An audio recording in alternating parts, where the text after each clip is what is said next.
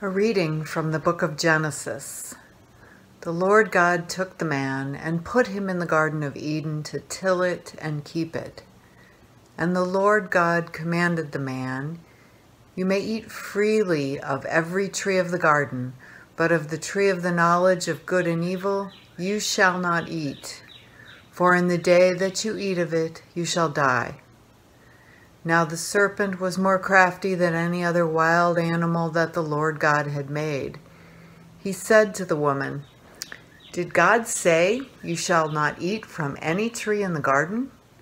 The woman said to the serpent, We may eat of the fruit of the trees in the garden. But God said, You shall not eat of the fruit of the tree that is in the middle of the garden, nor shall you touch it, or you shall die. But the serpent said to the woman, you will not die, for God knows that when you eat of it, your eyes will be opened, and you will be like God, knowing good and evil. So when the woman saw that the tree was good for food, and that it was a delight to the eyes, and that the tree was to be desired to make one wise, she took of its fruit and ate. And she also gave some to her husband, who was with her, and he ate. Then the eyes of both were opened, and they knew that they were naked. And they sewed fig leaves together and made loincloths for themselves. Later, they heard the sound of the Lord God walking in the garden at the time of the evening breeze, and the man and his wife hid themselves from the presence of the Lord God among the trees of the garden. But the Lord God called to the man and said to him, Where are you? He said, I heard the sound of you in the garden, and I was afraid because I was naked, and I hid myself. He said, Who told you that you were naked? Have you eaten from the tree of which I commanded you not to eat? The man said, The woman who you gave to be with me, she gave me fruit from the tree, and I ate. Then the Lord God said to the woman, What is this that you have done? The woman said, The serpent tricked me, and I ate. The Lord God said to the serpent, Because you have done this, cursed are you among all animals and among all wild creatures. Upon your belly you shall go, and dust you shall eat all the days of your life. And the Lord God made garments of skins for the man and for his wife, and clothed them. Then the Lord God said, See, the man has become like one of us, knowing good and evil. And now he might reach out his hand and take also from the tree of life and live forever. Therefore the Lord God sent him forth from the Garden of Eden to till the ground from which he was taken. He drove out the man, and at the east of the Garden of Eden he placed the cherubim and a sword flaming and turning to guard the way to the tree of life. Hear what the Spirit is saying to God's people. Thanks be to God. I come to you in the name of God the Father, the Son, and the Holy Spirit. Amen. When I was a kid, there were five words that my parents would often say that really frustrated me. Any guesses as to what those words might have been? I bet you may have heard them yourselves a time or two. Here they are. Because I told you so. Why can't I ride my bicycle from Flora to Louisville all by myself? Because I told you so. Why can't I stay up all night playing Mario Brothers on a school night? Because I told you so. Why can't I jump from the trampoline to the swimming pool? Or even better, jump off the roof to the trampoline and then into the swimming pool? Because I told you so.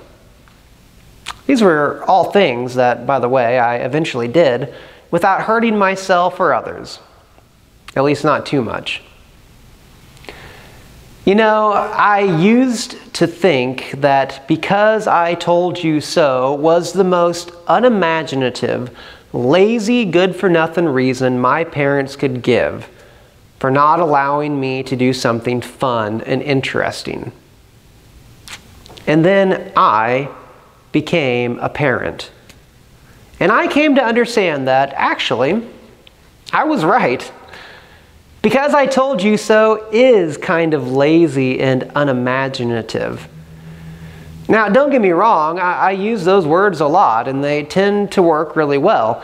Uh, because I told you so is an effective, time honored way of slamming the brakes on the why not train.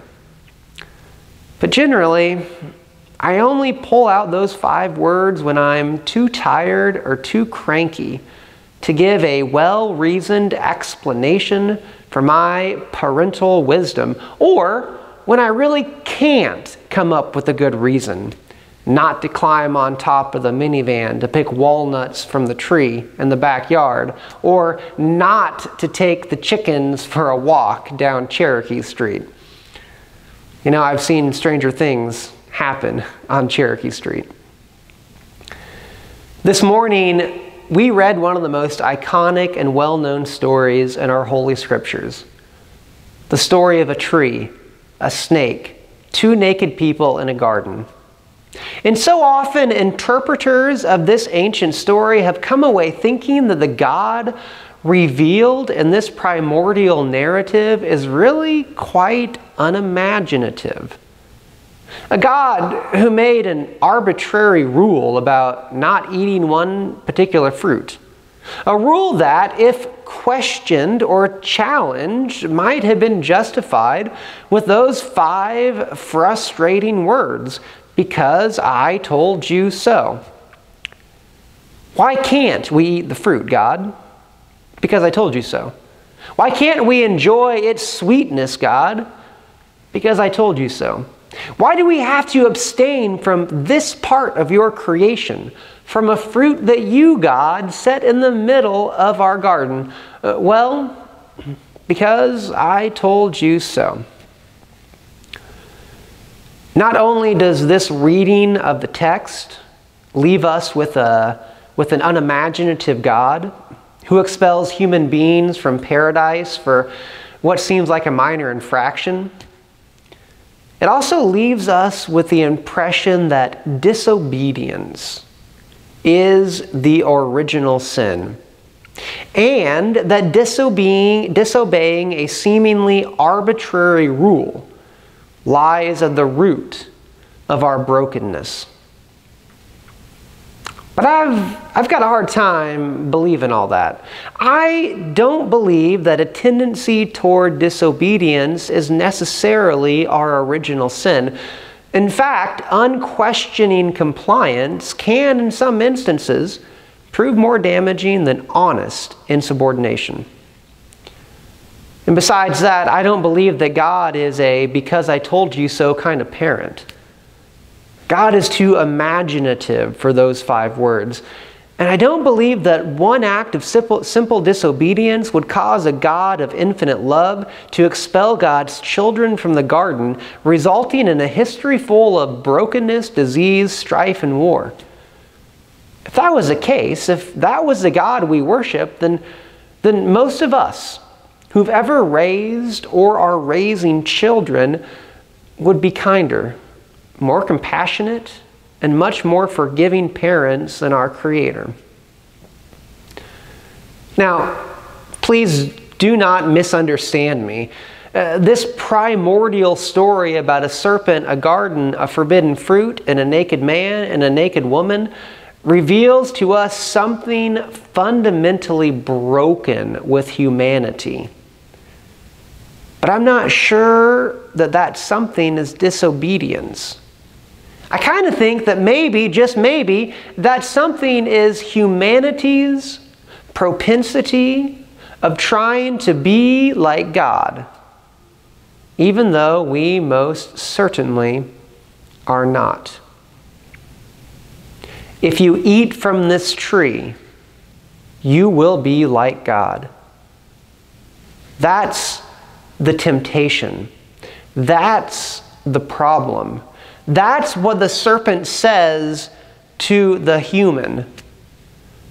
If you eat this apple, or orange, or who knows, this perfectly ripe avocado, you will be like God without limit. You will be transformed from a limited creature made in God's image to a limitless being with no need of a creator, redeemer, or sustainer. You will be able to define for yourself what is right and what is wrong with certainty, without ambiguity, and with self righteous assurity. You will control your own destiny and find peace and security in your own infinite potential and self sustainability. You will go from humble stewards to absolute monarchs of the garden. You might say, well, what's so bad about that? What's so sinful about all that? What's wrong with reaching toward human perfection? What's wrong with our quest for ethical precision and moral absolutism? What's wrong with seeking limitless human progression? Well, I'm not sure I'd say any of those things are moral failings or even sins as much as they are tragic mistakes with tragic consequences. That's what our ancestors learned back in Eden.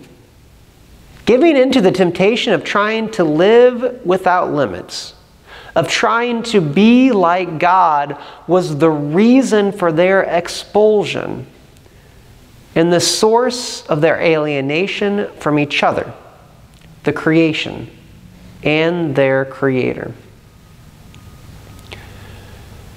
Like most fundamental myths and origin stories, the one we read today isn't just about something that happened a long time ago in a garden far, far away.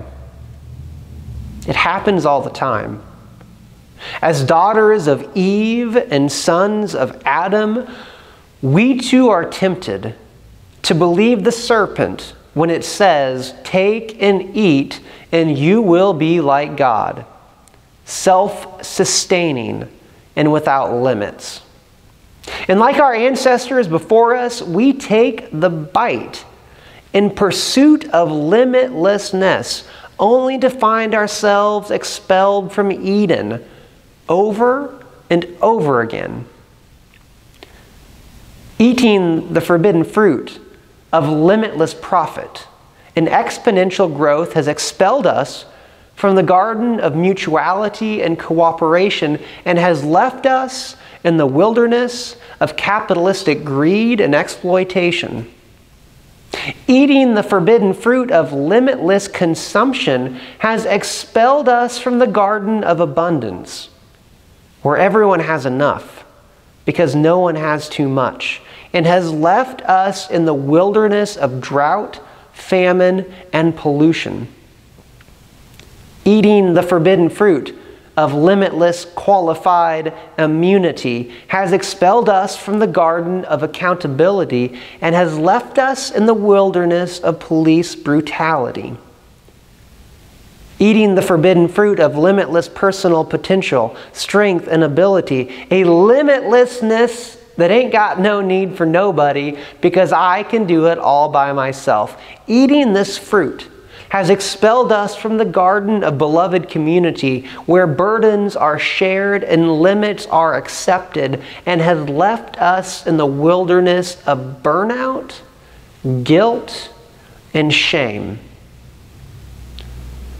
And as we've seen ever so clearly over the past few years, eating the forbidden fruit of limitless ability to discern with alleged certainty what is good and what is evil, has expelled us from the garden of neighborliness, respect, and humility, and has left us in the wilderness of uncharitable partisanship and animosity.